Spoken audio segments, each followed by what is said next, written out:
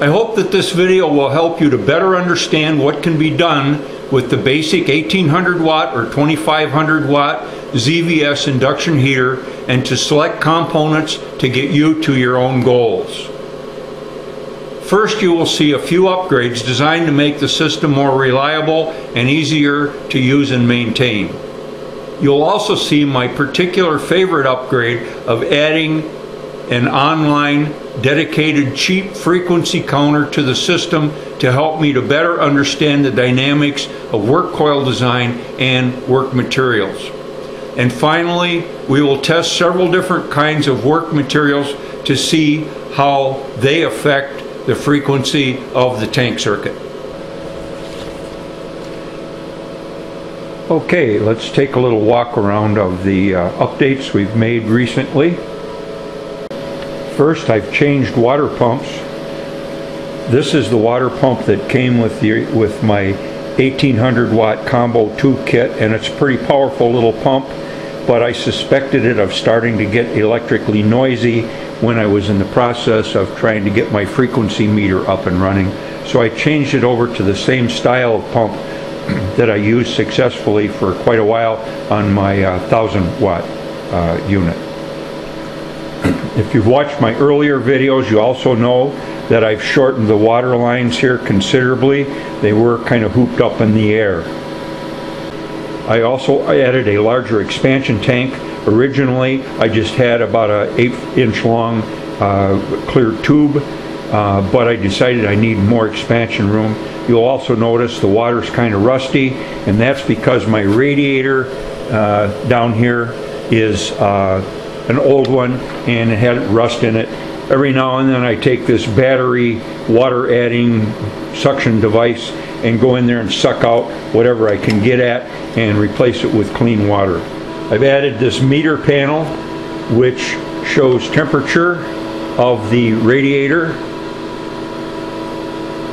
uh, current, if I get the view just right, with as, as you've heard me say before, an analog ammeter and my new frequency counter. The little dot after the 37 tells me it's reading in kilohertz. So I have the idle current is on right now at about 6 amps and the thing is kind of naturally running at 37.8 kilohertz with this particular 2 and 5 8 ID 10 turn coil and I believe there are 12.33 microfarad capacitors hiding under those fans frequency counter was a huge problem to get going. Um, I, I, first bought this kit for three bucks, built the kit, and then uh, when I couldn't get it reading correctly, um, I uh, found out it had to have a 5 volt square wave input right into the little PIC uh, computer chip and so I spent some time trying to borrow a gate signal from my uh, 1800 watt unit, ended up shorting the gate out and blowing a MOSFET. So then I gave up on that, then I tried a radio frequency reading meter, and realized after a while that was in the wrong range. So then I went back to this one and finally realized that I was going to have to, I couldn't get away with just making some sort of a passive conditioning network. And so I ended up with this uh, uh, Schmitt trigger arrangement here. This is a uh, uh TTL uh, hex uh, Schmitt trigger, hex inverter Schmitt trigger, and then I built a passive conditioning network for the Schmitt trigger, and finally got a square wave out of the that setup that would successfully run the frequency meter.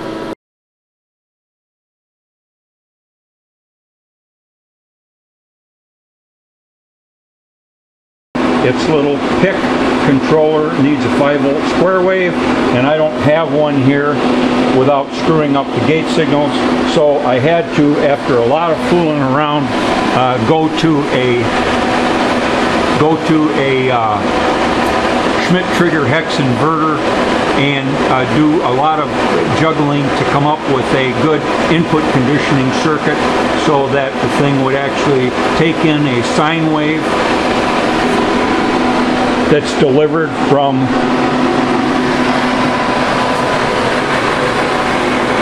this 40 tur 44 turn coil that is in close proximity to the work coil.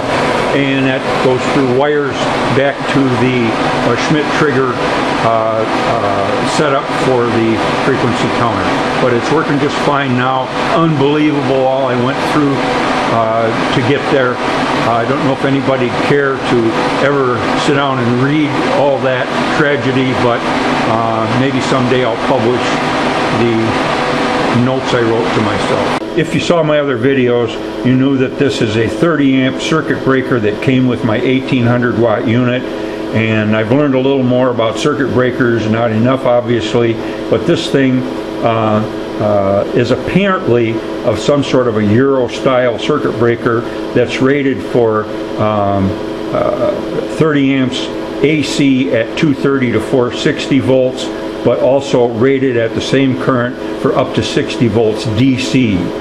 So for the 2500 watt unit here, I really needed more, so I found the same uh, class of circuit breakers up to the 40 amp range, and one of these days I'll stick this one in there uh, when I start to do extended work. Uh, people have different opinions about whether an AC rated circuit breaker will work on DC or not. I don't know what the true answer is, but ever since I first hooked this up to the 1800 watt unit, I've been using it as the DC on off switch. So certainly uh, it's able to quench whatever arcs occur when you do shut off the DC current. So I'm going to stick with it until something goes bad. You, of course, can decide for yourselves. If you saw my earlier videos, you knew I had a very big, very noisy fan. So I stuck a smaller muffin fan in here, uh, particularly for today's video, so that the darn fan wouldn't be making such a noise. The big fan, of course, is, is hiding down in here. So I've also added a power strip here, and I know that's kind of a kludge, but uh, turning on that, that switch on the power strip uh, enables the uh, cooling fan, whichever one is plugged in, and two wall warts. One wall wart is the one that runs the frequency meter and the Schmitt trigger, and the other wall wart is the one that runs the water pump. And the water pump is connected through this little, this is really just a terminal strip with an LED on it uh, that connects the water pump uh, to the uh, wall wart down there. Uh, the reason that I have that sitting there like that is one day I may actually decide to eliminate the buck converter here and uh, and hook the fans directly up to my this little uh, terminal strip and so I've got pins there that'll allow me to do that. And the reason that I want to get rid of the buck converter here is if that if these fans take two or three amps then that's two or three amps that I can't use to heat stuff. So we'll see how that goes. Also, if you've been following along, I did say earlier on that I was going to add a couple of valves here, uh, mechanical water valves, so that make it easier to change the coil without losing water. Well, I've decided not to do that. I don't need the extra length that the valves would cause, and uh, what I found really is when I change coils, just a few drips come out, so I've got this little 3D printed pan here uh, to collect those drips. Now we will test the effect of varying workpieces and currents on the resonant frequency of our current system. Turn on the idling current and we're at about 6 amps and notice the frequency is 37.78 or thereabouts. So now we'll take a piece of inch and a quarter pipe and place it in there and I hope you'll be able to see the current readings but I'll read them to you. I to point out the water temperature is 15.1 degrees and we've got the smaller fan running so it may heat up a little bit. We'll see. Anyway, inch and a quarter pipe, about 37.7 or 37.8 kilohertz. 6 amps. Now we put a piece in there up to 10 amps, 37.8. 15 amps, 38.1. 20 amps, 38.3. 30 amps, 38.9, 35 amps, 39.2, 40 amps, uh, 39.5, 45 amps, 39.3. Okay, That's inch and a quarter pipe.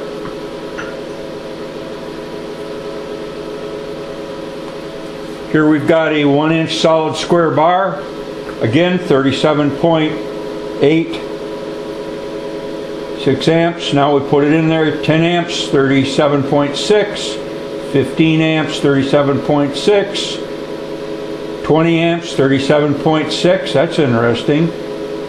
Uh, 25 amps, 37.6, 30 amps, 37.6, 35 amps, 37.6, and that's as far as that goes. One inch bar.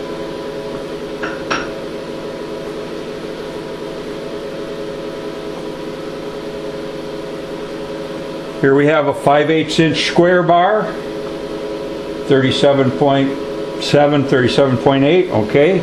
So 6 amps, 10 amps, 37.5, 15 amps, 37.4, 20 amps, 37.4, 25 amps, 37.3, 25 amps, 37.2, going to let it cook a little bit, 37.1, 28 amps, 29 amps, 37.0, 30 amps, 36.9,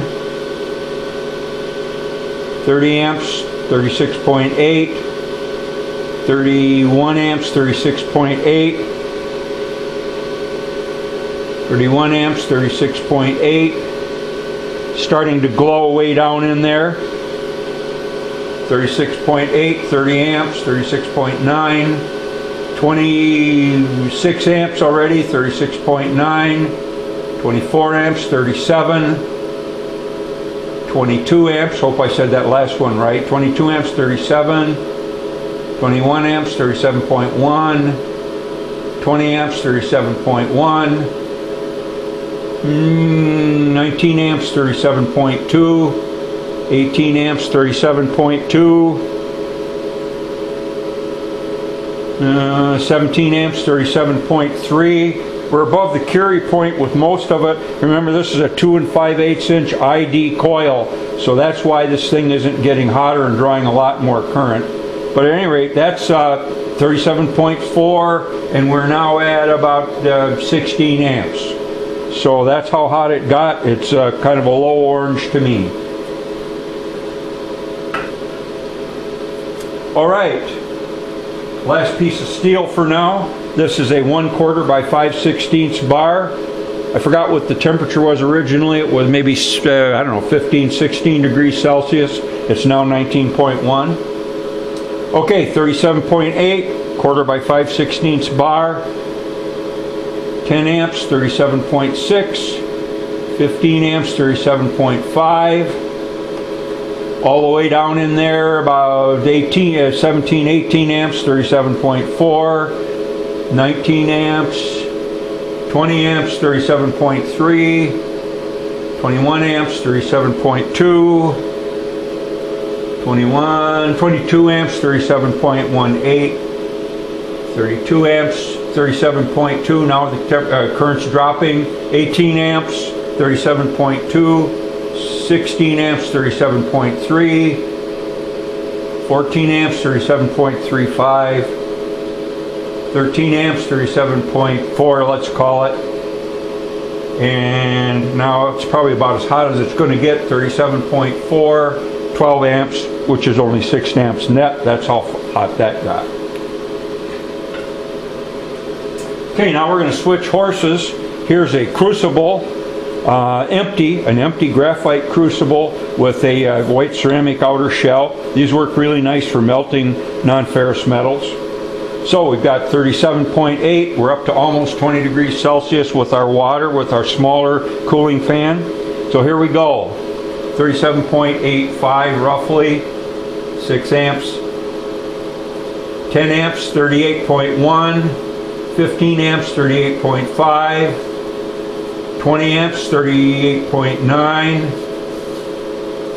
35 amps, 39.6, all the way up to about 40 amps, 41.2. so That's empty graphite crucible. Okay? Now we've got another graphite crucible, similar but not identical. This one doesn't have the top shoulder sticking out, and it's got uh, somewhat over 250 grams of scrap copper into it. Many of the pieces are almost the full length of the crucible, a squished half inch uh, copper tube, and then a whole bunch of other little stuff. Okay, but this has got a lot of copper in it.